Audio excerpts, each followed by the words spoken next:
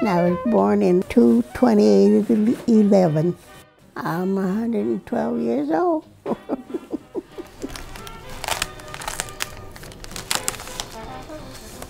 when I was four years old, my sister brought me to Woburn to stay with my aunt and uncle. My aunt did not have indoor plumbing. I was glad we got electricity.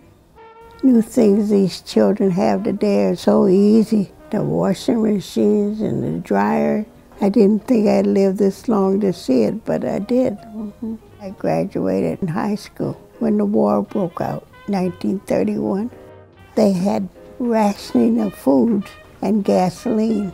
I've lived through quite a few presidents.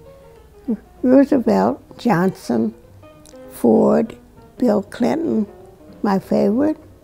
Of course, you know it's Obama.